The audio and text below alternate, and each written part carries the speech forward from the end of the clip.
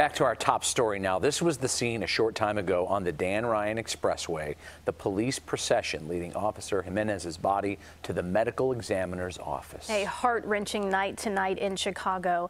Now let's check back in with CBS 2 investigator Brad Edwards. And boy, Brad, this day started off so differently than how it ended. Yeah, that it did. A day that started at 9:30 a.m. at the Grand Ballroom in Navy Pier with the superintendent, the mayor, glowing families, and 363 newly minted and some promoted Chicago police officers. Their promise to protect and serve.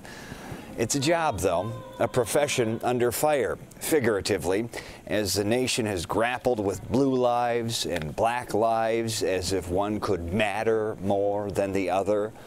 A profession under fire figuratively and literally less than six hours after that graduation. An officer responding to a distress call at Mercy Hospital was shot dead when patients and medical professionals fled from the level two trauma center CPD's bravest stormed in. The shooter was neutralized. And now a city mourns the second loss of a sworn officer this year. Commander Paul Bauer first, and today Officer Samuel Jimenez. They both ran towards what others ran from and died because of it. That's probably why they call it the ultimate sacrifice.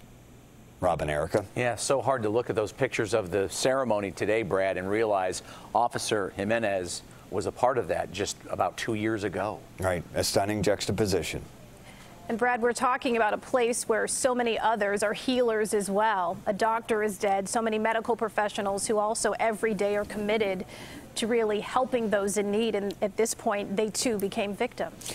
And interesting when you think of the lives lost today. A, a CPD officer, a promising ER doctor, and then a soon to be on the track to be a pharmacist. So the three lives lost, uh, in essence, were life savers. So to quantify that, it's tough to do. Yeah, no question about it. Brad, thanks. Mm -hmm. And we will be right back.